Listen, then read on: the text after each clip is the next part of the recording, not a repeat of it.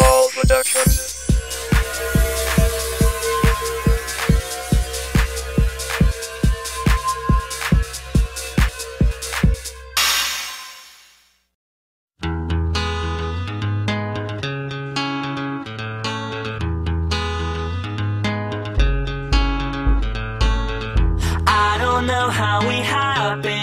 just kinda did.